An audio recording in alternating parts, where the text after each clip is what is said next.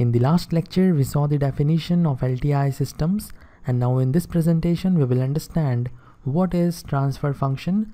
The transfer function is an important parameter and we will first see the definition of transfer function. The transfer function is defined as the ratio of Laplace transform of output to the Laplace transform of input when all the initial conditions are assumed to be zero. The last point when all the initial conditions are assumed to be zero is very very important. Without this point you cannot define the transfer function. I will explain the significance of this point after some time but first we will write down our transfer function. The transfer function is represented by hs. It is a complex function. The transfer function is a complex function and the variable s is also complex the variable s is also complex and the transfer function is easily obtained after taking the Laplace transform of impulse response. ht is the impulse response and after taking the Laplace transform of impulse response you will have the transfer function of the LTI system and when you take the inverse Laplace transform of the transfer function you will have the impulse response now from the definition we can clearly see the transfer function is equal to the Laplace transform of output and let's say the output of the system is yt. This is our LTI system. The input is xt and the output is yt and after taking the Laplace transform of the input we have xs and after taking the Laplace transform of output we have ys and don't forget to take the Laplace transform of the system relationship, you will have something. Now the ratio of Laplace transform of output to the Laplace transform of input is equal to the transfer function. So y s over xs is the transfer function but don't forget to add this line along with the definition. All the initial conditions are assumed to be 0. So with 0 initial conditions. Now we will try to understand the significance of this particular point, why zero initial condition is required to define the transfer function. We already know the transfer function, the transfer function and the impulse response is only used for LTI systems. So our system here is an LTI system. This means our system is linear plus it is time invariant.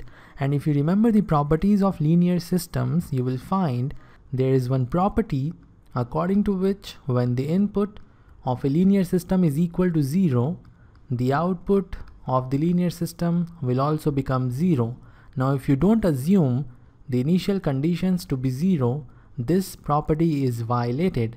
And when this property is violated the system will become non-linear and when system becomes non-linear the system becomes non-LTI and for non-LTI systems we cannot define the transfer function.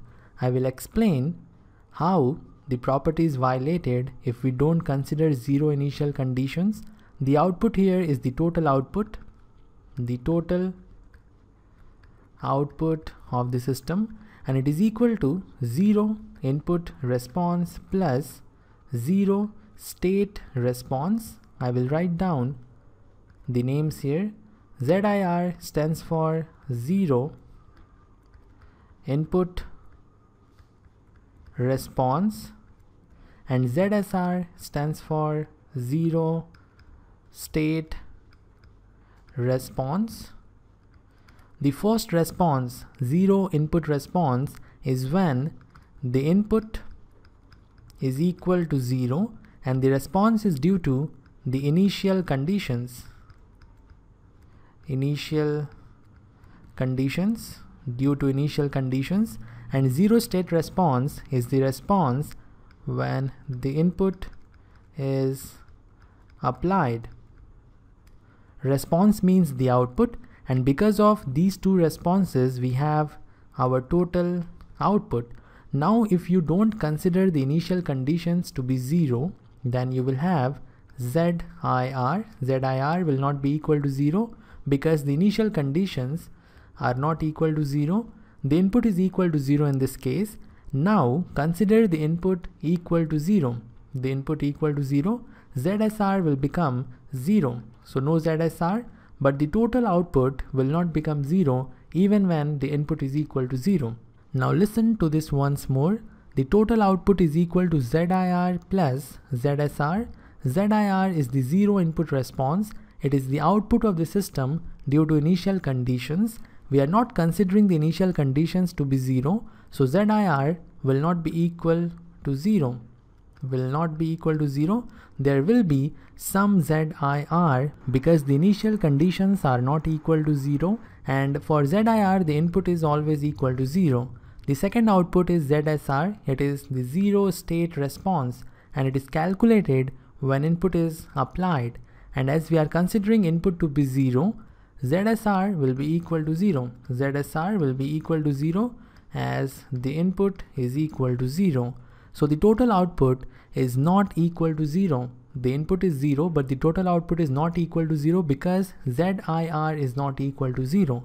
So we are applying 0 input to our system but the total output is not equal to 0 because the total output is equal to ZIR plus ZSR. ZSR is equal to 0 but ZIR is not equal to 0 because the initial conditions the initial conditions are not equal to 0 and as the input is 0 and output is not equal to 0 the system is non linear. And as system is non-linear we cannot define the transfer function.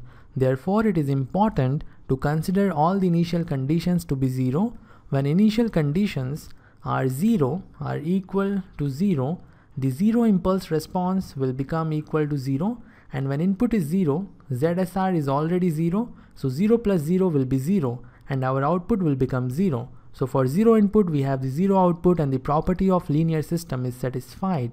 So this is the complete explanation required for the transfer function. If you have any doubt you may ask in the comment section. In the coming presentation we will solve the questions based on transfer function.